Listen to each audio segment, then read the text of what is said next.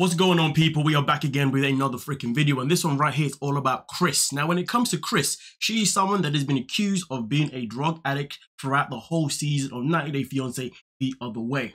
Well, when it came to Instagram, Kris decided to respond to a subscriber, shall I say, or a follower, shall I say, yes, who decided to ask her about these allegations of her being a drug addict. And this is exactly what Kris say. People can talk all they want they don't know the first thing about me. They only know how the TV want them to portray me. I ain't sweating anything that people say. If you knew me, you would know I've had more than a dozen people put in jail for breaking into my home all addicted. I've buried most of my friends from school, drug addicts. I was beaten as a child by a drug addict. This one's the kicker though. I raised a baby from one week to one year that was born addicted to cocaine and suffered with illnesses tremendous where all I could do was hold her tight and rock and sing her to calm her. Then after a year, I had to give her back to a parent that was still an addict. Quite interesting because why would you give a child back to a parent that is still an addict? Hmm. Hey, we continue. Worst feelings all around. Sad that the sleep disorder and bad injuries, mind you, I rolled my car three months before filming, which re-injured my neck, makes me a horrible person. Drug addict. To be honest with you, the problem with Kris is that she's always missing the point. People don't think you're a horrible person because they think you're a drug addict. People don't think you're a horrible person because you have narcolepsy. People think that you're a horrible person because that's how you display yourself throughout the season. You was aggressive with your tone, you was aggressive with your actions.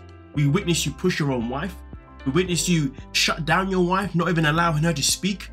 We witnessed you ignoring your wife, like literally ghosting her for like months. We also come to a conclusion, well, we've also come to the point in the tell all now where there's a conversation going on about did you ever pay for her rent? I mean, on top of that, you lied to her for the most part.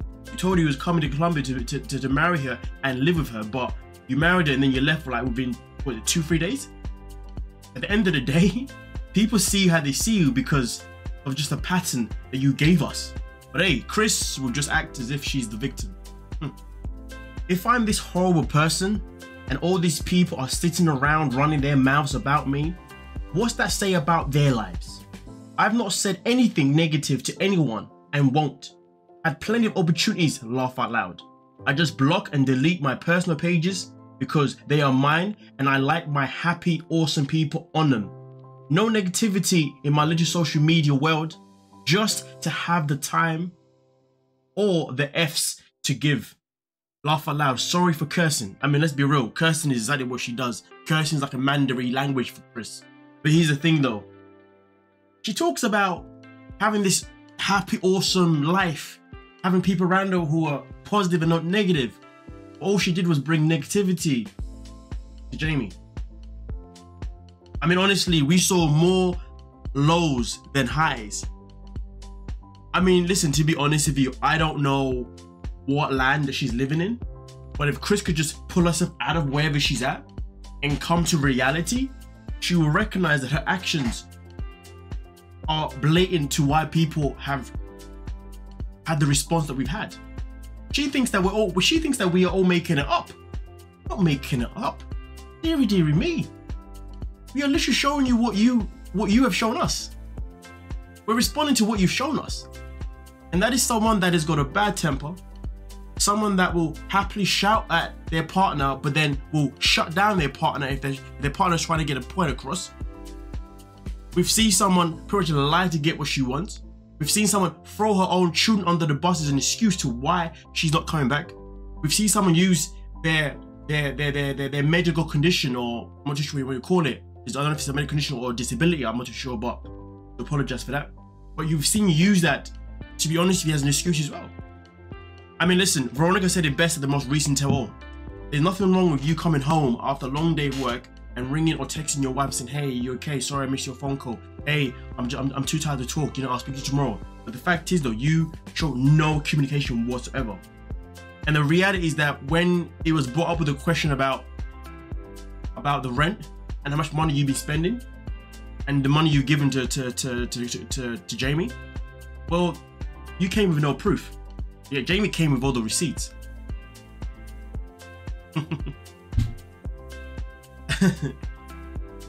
That's wild. That is wild. But uh, you know, Kris be Kris because Kris believes that she's right and everybody else is wrong. She's right and everybody else is after her. Sad life. Kris also went on to say, How many addicts have two homes? Car, motorcycle, three jobs, kids with cars, one with a college degree. I've always worked really hard to help my kids have a better life and opportunities. I didn't have. If I were this big addict, I'm sure as heck wouldn't be where I am today and spending the money that I make from this show to start a charity to travel the country helping families in need. I know I don't have to defend myself. I know me, lol.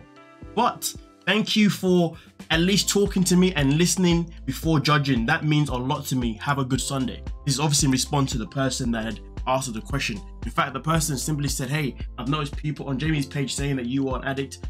Please let us know your thoughts. And to be fair, the person did ask in a very nice, respectful way, which is absolutely fantastic. But to be honest, if she sits there and says that I shouldn't have to defend myself, you know, something that I've learned in life is that whenever somebody says, I don't really, I shouldn't really be defending myself, but that is always suspect.